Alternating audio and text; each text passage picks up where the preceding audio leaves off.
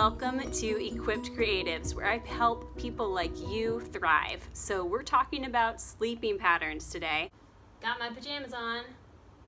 And if you're anything like me, that is a challenge. And I took the Sleeping Beauty Challenge that I created for myself for my own health journey. And all it was was trying to honor my schedule better. So, honor my sleeping schedule. And I found I had a lot of internal pushback when it came to that, and I didn't quite succeed in my goal, but I did make progress. So let's talk about that. Why did I want to do this in the first place? Sleeping is so good for us, right? Because it benefits beauty, it benefits our emotional stability, it benefits our immune system, and it benefits our healthy weight goals. And there's more information on that in the in the description below. I started off on this month-long sleeping beauty challenge where I would just want to set, set aside time to wind down and then you know hopefully sleep for seven to eight hours or give myself space to do that. And I found a lot of internal pushback because for the first part of the challenge is creating a healthy uh, helpful sleeping environment. Set aside time for sleeping and stick to it. And for me I the internal pushback started with that because it interfered with my habit of going going going going until I dropped and it also interfered with my habit of letting other people take my time from me that I set aside for myself because I felt guilty if I set boundaries around my time. I did not see myself worthy of investing in the time to rest. And I'm being really vulnerable here, but that is what it came down to. You know, that it was my work was more important than me taking time to rest for me to be more rested to do better work tomorrow. And my and people in my life were more important um, than my own body's needs to rest. But then i'm not able to be there as much as i want to be there for them in the next day right? So those are things to think about when you are finding internal struggle with something that is a healthy habit that you want to start. So, number one, in creating a healthy environment for sleeping, make sure that you are taking time to to rest and wind down so you can sleep for the hours that you need to. And yes, adults need seven to eight hours of sleep. We'll start there. Okay. And then, so next thing is lights. Avoid blue lights before you go to bed, right? So, TV, any kind of screens, you want to avoid that. Or if if I have them right with yeah, I have them with me my blue light glasses that actually have a tint to them. So this helps to block out more blue light. And this is from Pixel Eyewear and I actually researched this quite a bit and these really have helped me. I haven't tried any other ones but definitely if you're interested in checking these out there's a discount code in the description for you. And the third tip is to use therapeutic grade seed to seal essential oils in a diffuser.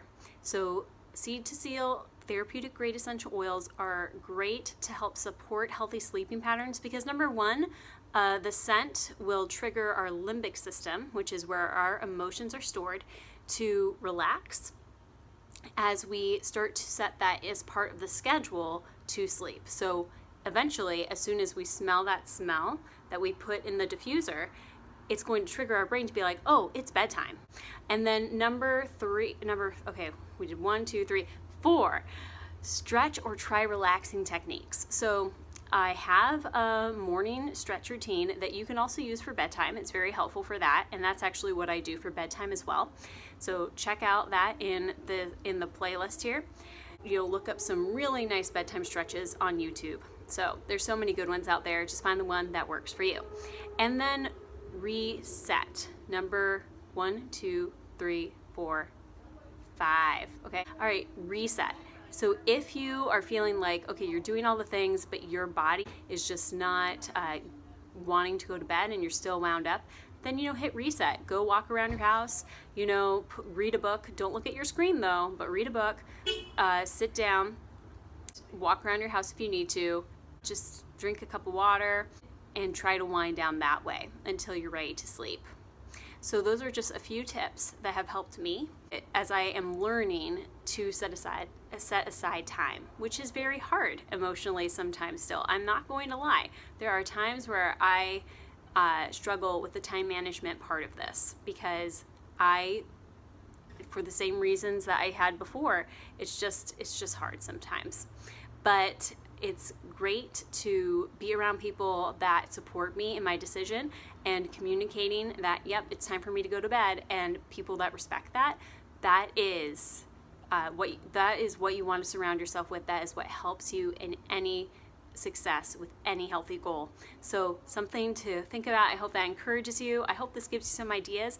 And yeah, and just to share, like I am still on my own health journey, and it's not perfect. So but it's it's beautiful. And it's not about perfection. It's about excellence and trying. Success is in the trying guys. And here i want to show you how easy a diffuser is too because sometimes that can be uh, something that people are unfamiliar with. So this is my diffuser and i love it. And what i do i take the top off and it has an inner top and i take that off. Uh, i put this put water in it and i fill it up to the line that's inside. And then I'm going to take my essential oils. So these are Seed to Seal therapeutic grade essential oils that are great for ooh, for sleeping. And so that was roughly like four drops. I would normally do like three drops. And then I'm gonna take, I do I do a couple ones because in the, for this one, just because I like it. Oh, and actually, that's empty. So we're just gonna do the one, which that's fine. And I'm gonna put that outer, that inner top on, then the outer top. I'm gonna hit the button that turns it on, and then this is the light button, and it has different colors. So, whatever my mood is for nighttime. Uh, let me see if I can find it. The one that I like the best is the candlelight flickering one. So yeah, that's the one. So yeah, and that I have that going for about 30 minutes before I go to bed. So thank you so much for joining us today. And if you like this video, go ahead and like it and subscribe to our channel. And check out the links below for more information on how you can connect with our community and be equipped to fulfill your calling for the long haul. All right, have a great rest of your day. Bye.